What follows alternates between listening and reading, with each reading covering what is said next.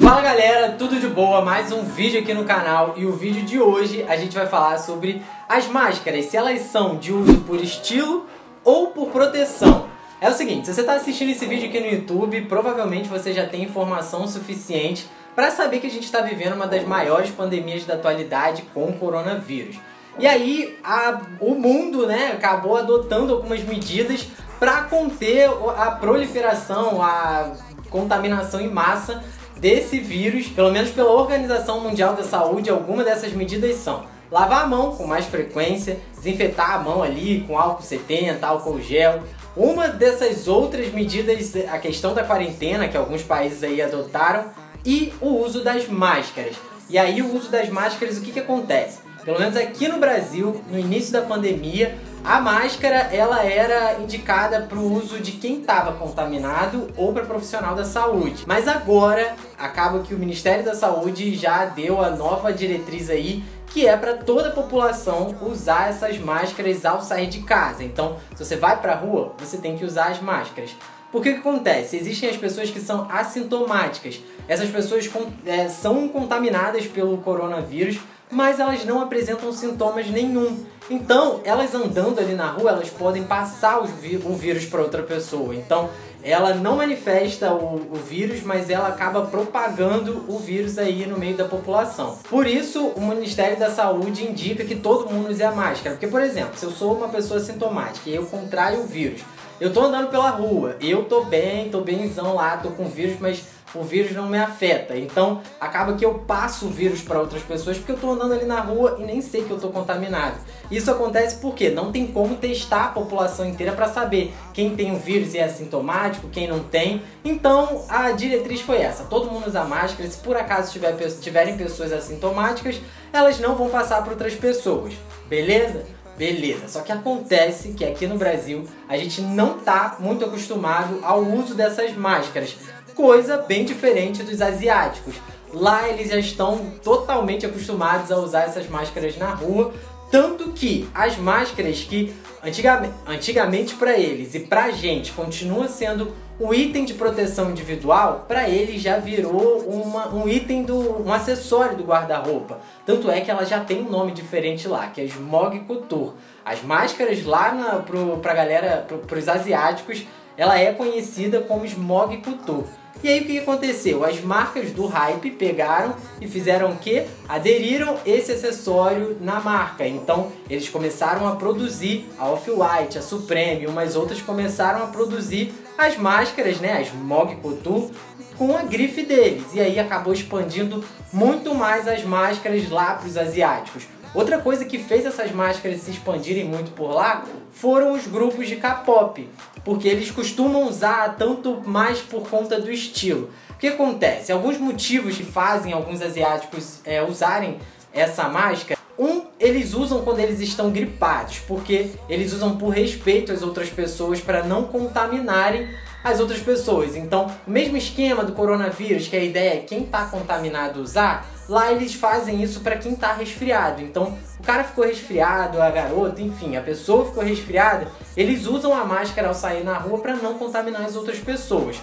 Um outro motivo que eles começaram a usar por lá também foi por conta da questão da, da poluição. O ar lá é muito poluído. A galera de São Paulo às vezes costuma reclamar, né, do ar de São Paulo e tal, mas lá na lá pra galera da Ásia, ele é tão contaminado que assim, eles têm vários problemas de saúde por conta disso. Então, eles começaram a usar mais essas máscaras. E isso é mais pra galera ali da China e dos países em volta. E aí tem o lance do vento, dependendo da posição do vento, leva a poluição ali da China para os outros países vizinhos. Então, todos eles começaram a usar as máscaras por conta disso. E lá no Japão é por eles usam também por conta do pólen das flores. Tem muitas flores pelo país e chega uma época do ano, da primavera, que fica muito pólen no ar. E aí a galera que é alérgica acaba ficando prejudicada. Então eles criaram esse costume de usar essas máscaras lá. Outros motivos curiosos que fizeram os asiáticos usar essas máscaras Um é, às vezes, tipo, ah, acorda, acorda, não dormiu bem, acordou com a cara inchada e tal. E aí eles pegam e usam essas máscaras para sair na rua, para não sair com a cara, né, toda inchada pela rua. Então eles têm esse costume. As mulheres lá, quando estão com pressa, não tem tempo de se maquiar, elas maquiam o olho e botam essa máscara que aí já tampa metade do rosto ali. É um dos motivos. Outro motivo também é porque às vezes, cara, não tem aquele dia que a gente acorda e a gente não tá afim de falar com ninguém, não quer rir, não quer nem olhar pra cara de ninguém. Lá eles usam as máscaras também para isso. Tipo, bota a máscara e vai na rua e, tipo, sabe, não precisa ficar rindo pra ninguém, não precisa é, socializar com ninguém. Então vai, sai, fica com o celular dele, o livro dele. Então é uma forma dele fazer uma bolha, sabe? Uma reclusão ali. A máscara também serve para isso. E fora que tem a galera que usa por conta do estilo. E a probabilidade das máscaras em outros países se transformarem em acessório, smog couture, no lugar de um equipamento de proteção individual, que é o famoso EPI, é muito grande. Que alguns países, depois dessa pandemia, vão acabar adotando aí também o uso das máscaras, de repente, inicialmente, para não propagar, de repente, o resfriado, que eu acho até interessante essa ideia do resfriado. Porque assim, aqui no Brasil, às vezes, sei lá, se você tá no trabalho, alguém na, na sala ali fica resfriado, cara, pode ter certeza que dentro pelo menos de um mês, mais da metade da sala ali vai, vai ficar resfriado, porque fica num lugar fechado, com ar condicionado, e a cultura deles lá é isso, eles usam a máscara, então a pessoa assim. É, eu dei uma lida, é, eu não sou médico e nada, mas eu dei uma lida e acaba que quando você usa máscara, quando você tá resfriado, você demora um pouco mais a ficar curado mas em compensação você não vai transmitir para outras pessoas. Então, cara, eu achei isso bem legal na cultura deles lá. Até porque lá eles têm uma cultura bem diferente sobre esse lance de de repente faltar ao trabalho. As leis trabalhistas deles lá são bem diferentes da nossa. Então, não tem muita essa coisa de atestado e tal. Então, assim, se eu tô resfriada no meu trabalho e aí eu contamino outra pessoa, tipo, a outra pessoa acaba se achando no direito de ficar revoltado comigo porque ela tá perdendo o dia do trabalho dela, tá perdendo o dinheiro porque eu não me cuidei de não passar o vírus para ela. Então, enfim, gente, tanto por conta dessas medidas mais de segurança de saúde e também por conta do estilo e, a, e as marcas também, né? As marcas do hype que estão investindo pesado nas marcas, nas máscaras. Pode ser que depois dessa pandemia aí a, o Smog Couture seja uma, um acessório que seja incorporado por outros países aí. Inclusive, eu tava dando uma lida, tem algumas marcas que têm feito essas máscaras com um cheiro e um sabor que ajudam a inibir a fome. Então, as pessoas têm usado, as pessoas têm problema de compulsão alimentar e, consequentemente, algumas obesas, têm usado essas máscaras porque o cheiro e o sabor que a máscara vai soltando ali durante o dia vai inibindo a vontade de comer e aí com isso a pessoa tem o efeito ali de dar uma emagrecida. Enfim, gente, isso são só algumas curiosidades que eu peguei em relação à máscara. Inclusive, eu tenho eu postei lá no meu Instagram um tutorial de como fazer uma máscara com a sua bandana. Então se você tem uma bandana em casa, tá afim de fazer, ó, uma máscara estilo essa daqui. Eu tô deixando passando o tutorial aqui do lado. Eita, essa minha aqui tá meio embolada porque eu saí pegando. Enfim, eu tô deixando passar um tutorial aqui do lado. E aí, se você conseguiu pegar pelo tutorial que tá aqui do lado, beleza, senão você pode voltar esse vídeo.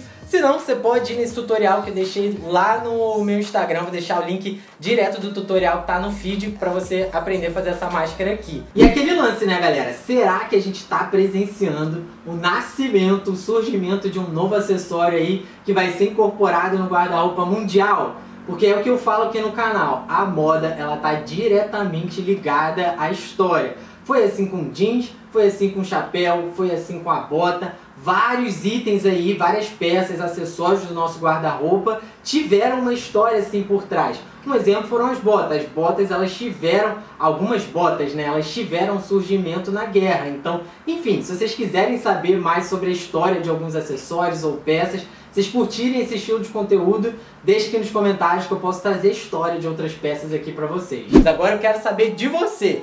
O que, que você acha? Deixe aqui nos comentários. Você acha que essas máscaras vão. É, outros países vão aderir a esse acessório, a máscara, os Smog Couture, depois da pandemia? O que, que você acha aqui no Brasil? Você acha que as máscaras vão pegar? nesse nosso calor aqui do Brasil, será que a gente vai começar a usar a máscara como um acessório, estilo, ou a gente vai deixar para usar só quando viajar para esses lugares?